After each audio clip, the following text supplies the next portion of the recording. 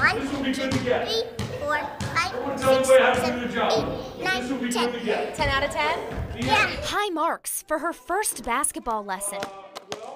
From a Vermont legend. All right, next. Former Catamount head coach Tom Brennan stepped out of basketball retirement and onto the court to teach the game to slightly younger athletes. It was an, an interesting experience uh, teaching five year olds.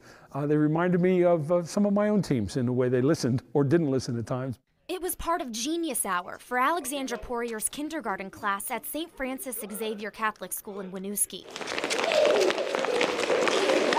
Good hustle. The kids decided they wanted to learn the sport, so she looked to an expert to pitch in. Tom responded and in the most amazing way. The adults in the building are really excited. I tried explaining it to the kids. Here, and then the next bounce is here. This isn't the first time he's helped out at the school. Brennan used to volunteer in the cafeteria. That was really my specialty. This is just a throw into basketball stuff. All right, you're going to pass it to Mackenzie. The longtime UVM coach led the Cats to the team's first ever NCAA tournament appearance and four 20 plus winning seasons. See if you can put it in.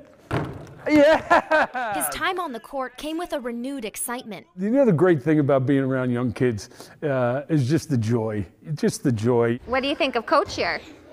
Goody. He signed up to teach these aspiring hoopsters for the next month or so I want them to just get excited about the game.